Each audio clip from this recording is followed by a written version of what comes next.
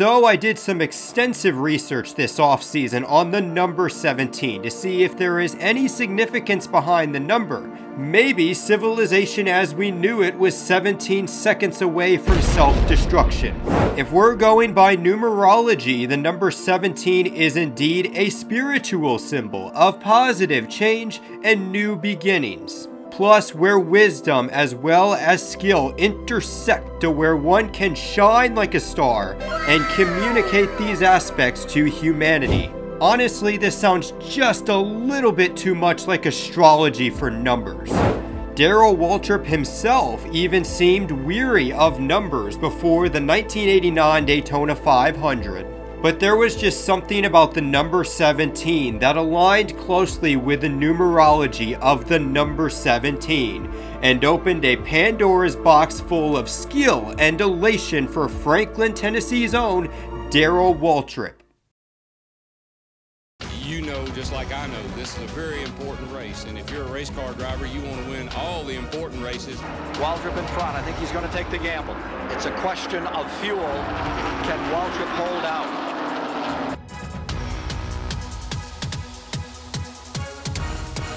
NRF Productions presents the 2024 season premiere 17 Darrell Waltrip's Day of Daytona 500 Destiny.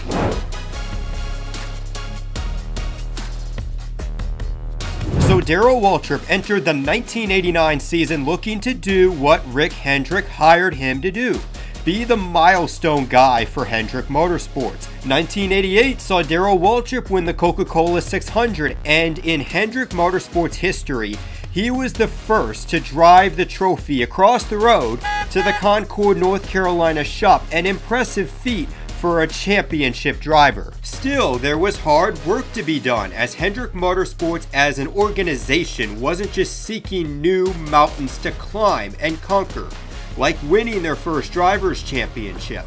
For Darrell Waltrip as a driver, Hendrick was a place to help add new accomplishments onto his impressive driver's resume. The accomplishments alone made his resume at least three pages long. He had tons of awards and accolades as a NASCAR Cup Series champion.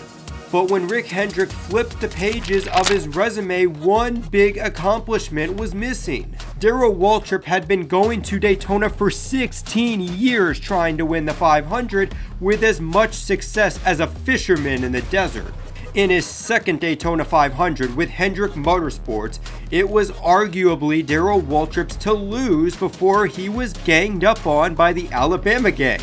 Shoot, I just got a dark thought with that, but I digress because this was another way that Darrell Waltrip had lost the one race where every driver and team were on their A game. But 1989, like numerology for the number 17, brought about positive change and new beginnings. Darrell Waltrip and Jeff Hammond had gained some new wisdom from this dominant heartbreak. Randy Dorton to engine building was what Randy Orton was to WWE wrestling.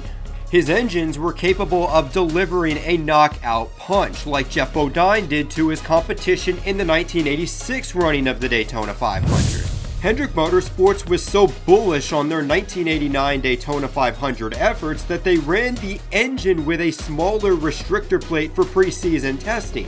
But when the bell was ringing and their Chevrolet Monte Carlos hit the track, the gloves were off. Darrell Waltrip locked in a front row starting spot alongside his Hendrick Motorsports teammate Ken Schrader for the big race. And this was the start of the February tradition that all NASCAR fans get to experience every February, which is the Hendrick Motorsports Pole Qualifying Invitational. This year is definitely going to be Alex Bowman or Kyle Larson for the fifth year in a row, but that's what it is. It all began with 1989 pole qualifying.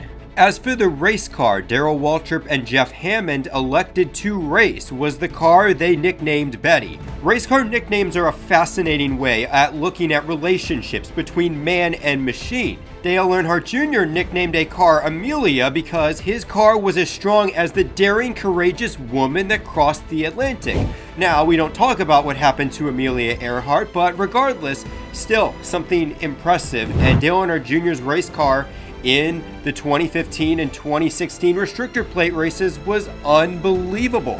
Now, obviously, there's two things that you might be thinking this car would be named after. Number one, the Betty character, the, the one with the over exaggerated body.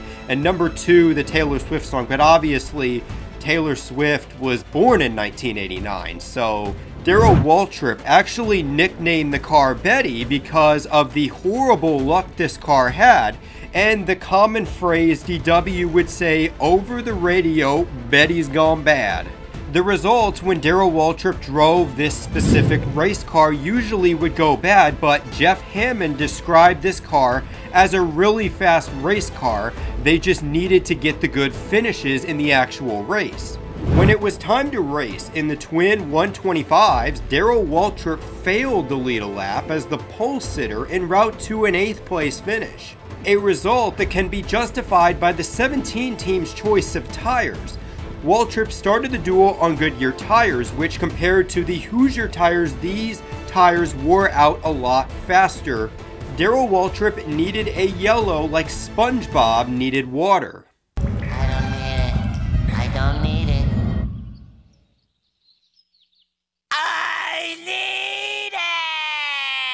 So Darrell Waltrip came down pit road, changed out the Goodyears for Hoosiers, which meant he would take the L in the twin 125s.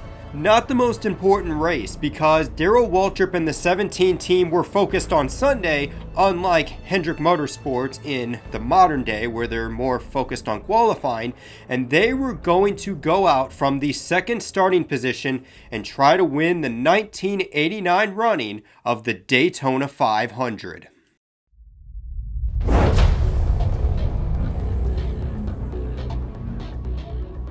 February 19th, 1989, Darrell Waltrip woke up, had his favorite breakfast, which was probably milk and cereal, cereal and milk, cereal and milk, and officially set his sights on finally winning the Daytona 500 in his 17th try. You could slice the pizza many different ways, but Darrell Waltrip's 1989 Daytona 500 was a superstition. Everything seemed to come back to number 17, being not only Darrell Waltrip's 17th try in Daytona.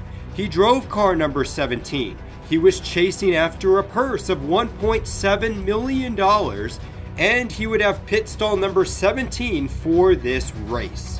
Darrell Waltrip's keys to having a good Daytona 500 in 89, by the way, 8 plus 9 equals 17, the key was pretty simple. That's just going to be the deal, to go out and run smart and uh, not make any mistakes and take care of the car and, and be there to finish and not run in those big groups. With that interview, Jeff Hammond put up the window net and it was time to go racing.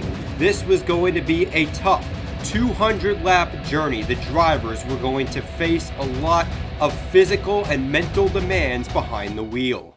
But the potential reward at the end of the day made it all worth it. As the field rounded turn 4, it was time to go racing in the 1989 Daytona 500. What do you say? One, two, three. Boogity, boogity, boogity. Let's go racing, boys.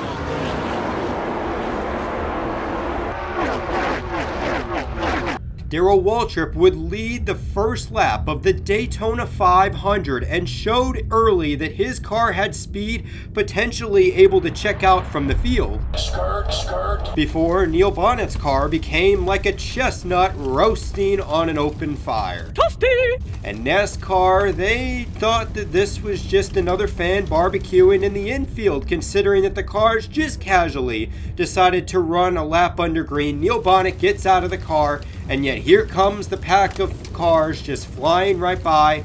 This could have been an absolute disaster for NASCAR, but finally, after 40 seconds. And the caution will be coming out now. They put the caution lights on around the racetrack. Uh, I can't believe what I'm seeing. Despite Chevrolet's time with the Monte Carlo reaching its end, Ford had a brand new model, the Thunderbird, for the 1989 season. NASCAR obviously doesn't want to give one manufacturer this massive advantage, so to level out the playing field, like when you're trying to level out icing on a cake, NASCAR allowed Chevrolet to put streamlined material over the headlights.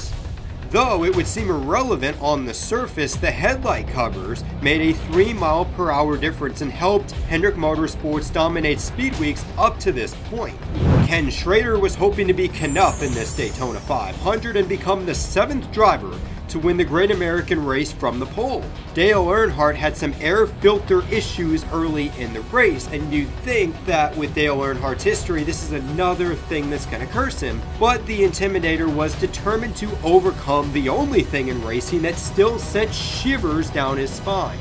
This was Chevrolet's race to lose, with the Fords being a bit off in the 1989 Speed Weeks and again in the race. Darrell Waltrip, meanwhile, had a decent Monte Carlo, but at the moment, he was to Ken Schrader like Chase Elliott right now is to Kyle Larson, playing a sad second fiddle like Mr. Krabs in the background. Early on in the race, it was clear that the 17 was a good car, but not a great car. At times in the race, Waltrip was fading. Waltrip was fading fading fast like he would say in an animated movie about talking cars 28 years later. Unlike Lightning McQueen, Darrell Waltrip would not have his big crash despite nearly being collected in the big one. On lap 74, you might as well just cue the old quote about how There's millions and millions and millions of dollars of damage here. Because this crash took out a lot of good cars like Mark Martin, Dale Jarrett, Chad Little, Mickey Gibbs, and not Bill Elliott. As Ken Schrader and Dale Earnhardt were the favorites in this race, Darrell Waltrip was in 8th with 51 laps to go. Unlikely to outright win the Daytona 500 based on Randy Dorton's horsepower. However, there is no shortage of Daytona 500s where the fastest car didn't win the race. Look at 1979. Richard Petty was like, hey, I'm gonna get third place prize money. All of a sudden, Cale Yarborough and Donnie Allison get into it on the backstretch, and now Richard Petty is the 1979 Daytona 500 champion. Heck, even for Darrell Waltrip, he had the dominant car in 1998 and still lost. Darrell Waltrip had done just about everything to lose the Daytona 500 at this point the person that understood all the shortcomings that Darrell Waltrip had went through, all the times where he wanted to sit there and eat a bag of Tide Pods after the Daytona 500 was his wife. Stevie Waltrip had two strong qualities, understanding just how Darrell Waltrip had lost the Daytona 500, but also, at the time, she was a mother of a 17-year-old daughter, going back to the whole 17 numerology superstition. She reached aside Jeff Hammond and reiterated that they have done a million things to lose this race in the past. Now it is time to think outside the box and try to win it. So in the 1989 NASCAR Cup Series car, the fuel tanks were much larger. Many teams pushed the maximum allowable size on fuel lines, overflow tubes, and anything else needed for the fuel system, one of those teams was the Hendrick Motorsports number 17 team. According to Jeff Hammond, the 17 team pushed the maximum level allowed by NASCAR to add ounces to the fuel system's capacity. Sure, going 50 laps without fuel might be like walking through the Sahara Desert with only a canteen of water. It seemed impossible, but it was worth the shot to prove that it was possible. Darrell Waltrip was not planning to come back to the 17th pit stall for the rest of the race unless his car was on fumes. As Jeff Hammond instructed, he was going to draft anything and everything, even if there was a seagull flying down the backstretch, even as these cars didn't have the windshield wipers and some accident were to happen with that seagull, you knew that Darrell Waltrip was still going to try to get a draft off of it because it was important to save every ounce of fuel. A critical part of having this strategy work to perfection was having someone else also try to make it to the end, and this driver was Alan Kulwicki. When Alan Kulwicki was at the short tracks, he would rip open his shirt to reveal his Superman emblem. However, tracks like Daytona and Talladega were his kryptonite. However, contrary to that, this number 17 felt like this was an outside the box gamble that was worth a try. After all, this is a group that would later be nicknamed Underbird, so why not just give it a try? And if it doesn't work, I mean, they weren't going to get that good of a finish either way. This would work perfectly for Darrell Waltrip as Alan Kulwicki would lead the draft and Darrell Waltrip would be right behind, drafting off of him and saving more laps of fuel. However, as the race was going down to the wire, one by one, teams abandoned this strategy like a group of boys that abandoned their raft at the sight of an otter. True story, by the way. With 11 laps in the race, Ken Schrader and Dale Earnhardt made the stop that was supposed to win them $1.7 million. The number 3 pit crew helped Dale Earnhardt get the advantage over Ken Schrader after the number 25 team had an error-prone pit stop. Alan Kulwicki and Darrell Waltrip were now the two remaining drivers trying to make it 50 laps on this tank of fuel. However, how much more fuel could they save? With four laps to go, Alan Kulwicki had run every last drop of fuel. Evidently, he's out of gas. Oh, Kulwicki. Oh, no! He's out of no! gas. Ran it lean. No! Down the back straightaway. He's slowing down. As Alan Kulwicki came down pit road, his race was over. So when seeing Kulwicki run out right in front of him, Darrell Waltrip was now in a state of panic comparable to Nick Sanchez when he got sucker punched. The only difference being that not only did Jeff Hammond make the situation level headed, but also DW didn't threaten to kill him in Homestead. Without the number 7 car to draft off of, the anxieties were high for Darrell Waltrip as he took the white flag. Inside the cockpit, Waltrip could hear the popping and cracking, all the little noises, wondering if this car was going to make it to the end. But somehow, someway, Darrell Waltrip was able to minimize all those anxieties and pressures and complete those final 2.5 miles like a relief pitcher would, getting those final three outs. The Daytona 500 belongs to Franklin, Tennessee's Darrell Waltrip. He's done it. After 17 years of coming to Daytona, the driver that would drive the number 17 car and had a daughter that was 17 months old and had 17 letters in his name won the race that paid $1.7 million. And as you can see, the celebration in the 17th pit stall was legendary. The driver of the number 17 had the energy and the stamina of a five year old that just got a Jeff Gordon remote control car for Christmas. Thank God! It is incredible, especially today, to see a driver climb out of the car and have so much passion and emotion. You could tell how much this race and how much crossing this off his bucket list meant to Darrell Waltrip. And now, the three time NASCAR Cup Series champion from Tennessee was a Daytona 500 champion. Oh, I won the Daytona 500! I won the Daytona 500! Winning the Daytona 500 is special for any driver, but Darrell Waltrip's day of Daytona 500 destiny stands out. To see one of NASCAR's top drivers and characters of the 1980s finally be able to add Daytona 500 on his racing resume, which he would use in 1991 when he handed over his application to NASCAR's newest owner, himself.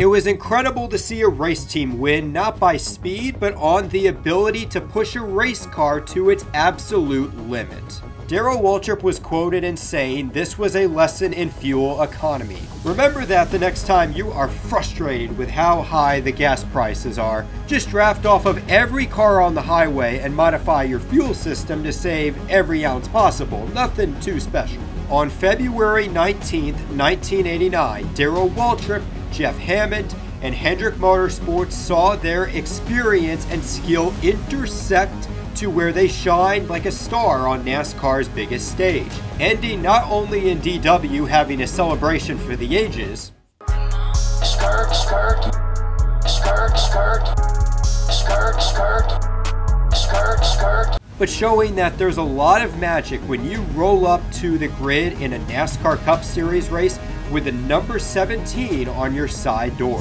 So if you guys enjoyed this video, this is just the start as there are going to be plenty of different topics and stories that NRF Productions is going to cover in this 2024 season. Other than that, this is Nathan for Digital Gas House. Life's a beach and then you drive.